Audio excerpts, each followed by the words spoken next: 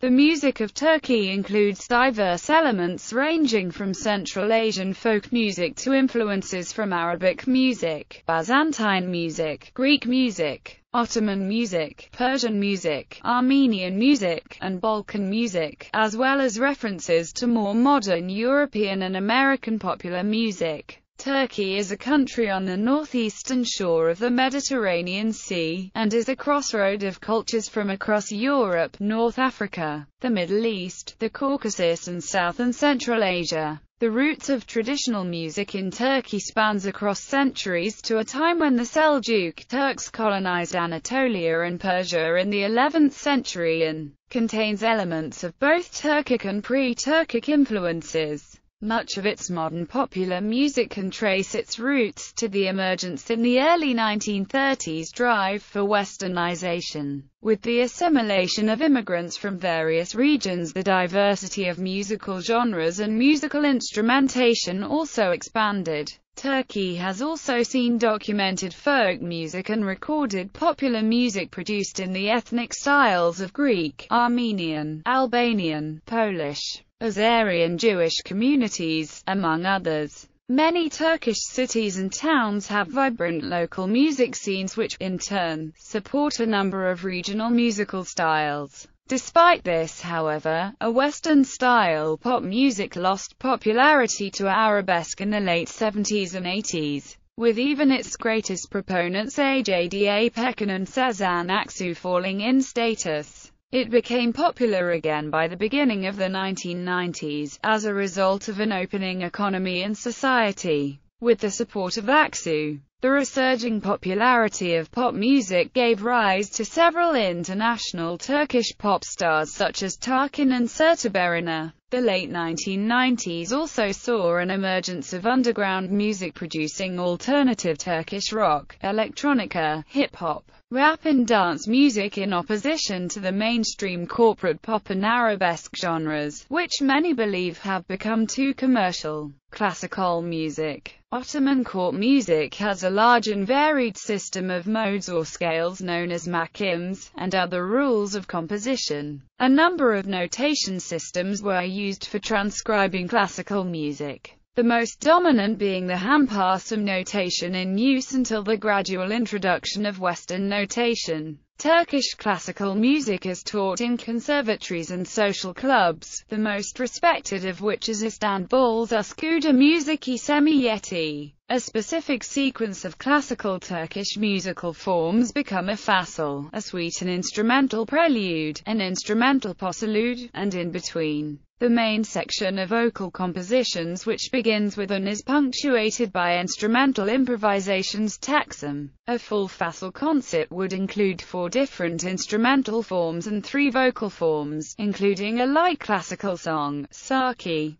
A strictly classical fasıl remains is the same makam throughout, from the introductory taksim and usually ending in a dance tune or oyun havasia. However, shorter Saki compositions, precursors to modern-day songs, are a part of this tradition, many of them extremely old dating back to the 14th century, many are newer, with late 19th century songwriter Hacı Arif Bey being especially popular. Composers and performers Other famous proponents of this genre include Sufi Dede Effendi, Prince Cantemir, Baba Hamparsum, Kemani Tatyos Effendi, Sultan Selim III and Sultan Suleiman the Magnificent. The most popular modern Turkish classical singer is Munir Nurettin Selçuk, who was the first to establish a lead singer position. Other performers include Bülent Ersoy, Zeki Müren, Müzeyyen Senar and Zekai Tuncer. Musical instruments Traditional instruments in Turkish classical music today include tanbur long-necked plucked lute, ney and blown flute.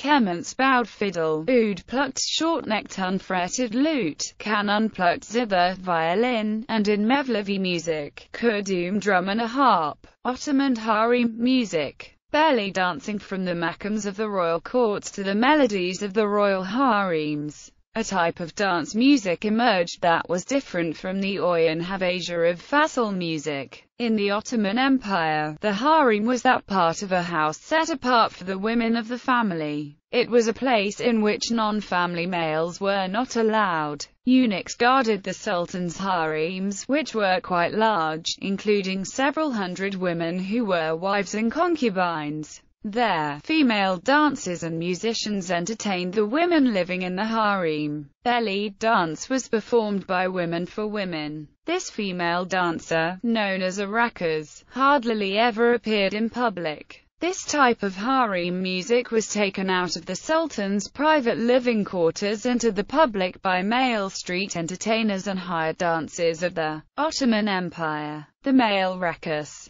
these dancers performed publicly for wedding celebrations, feasts, festivals, and in the presence of the sultans. Modern Oriental dance in Turkey is derived from this tradition of the Ottoman raqqas. Some mistakenly believe that Turkish Oriental dancing is known as Siftetili due to the fact that this style of music has been incorporated into Oriental dancing by Greeks illustrated by the fact that the Greek belly dance is sometimes mistakenly called sifteteli. However, sifteteli is now a form of folk music, with names of songs that describe their local origins, whereas raqqas, as the name suggests, is possibly of a more Mideastern origin. Dancers are also known for their adept use of finger cymbals as instruments, also known as zils. Romani influences Romani are known throughout Turkey for their musicianship. Their urban music brought echoes of classical Turkish music to the public via the meyhane or taverna. This type of fasl music with food and alcoholic beverages is often associated with the underclass of Turkish society, though it also can be found in more respectable establishments in modern times. Roma have also influenced the fasl itself played in music halls. The dance music required at the end of each fasl has been incorporated with Ottoman raqqas or belly dancing motifs. The rhythmic ostinato accompanying the instrumental improvisation for the belly dance parallels that of the classical ghazal, a vocal improvisation in free rhythm with rhythmic accompaniment. Popular musical instruments in this kind of fasl are the clarinet, violin, kanun, and darbuka. Clarinetist Mustafa Kandıralı is a well-known fasl musician. Military music The Janissary bands or Mehter Takımı is considered to be the oldest type of military marching band in the world. Individual instrumentalists were mentioned in the Orhun inscriptions, which are believed to be the oldest written sources of Turkish history, dating from the 8th century. However, they were not definitively mentioned as bands until the 13th century.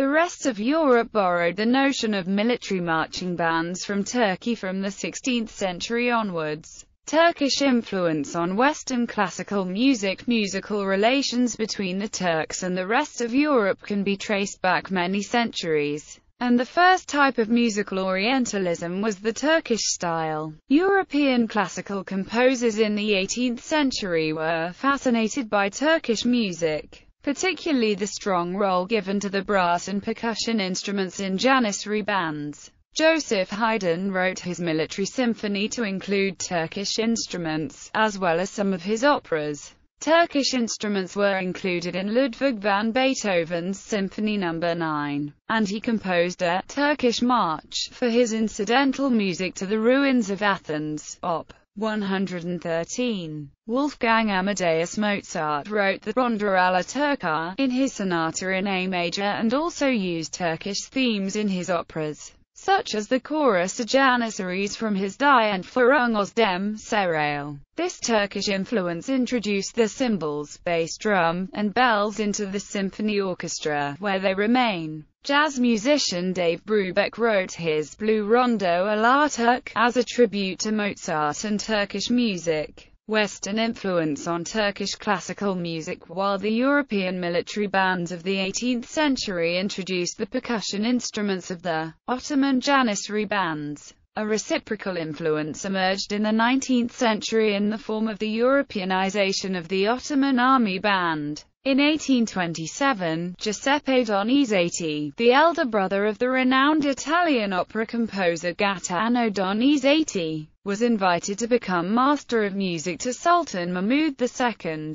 A successor of Donizetti was the German musician Paul Lange, formerly music lecturer at the American College for Girls and at the German High School, who took over the position of Master of the Sultan's music after the Young Turkish Revolution in 1908 and kept it until his death in 1920. A son of Paul Lange was the Istanbul-born American conductor Hans Lange. After the decline of the Ottoman Empire and the creation of a Turkish Republic, the transfer of the former Imperial Orchestra or Humayun from Istanbul to the new capital of the state Ankara, and renaming it as the Orchestra of the Presidency of the Republic Riyaset i Cumhur Orkestrası, signaled a westernization of Turkish music. The name would later be changed to the Presidential Symphony Orchestra or Cumhurbaşkanlığı Senfoni Orkestrası. Further inroads came with the founding of a new school for the training of Western-style music instructors in 1924,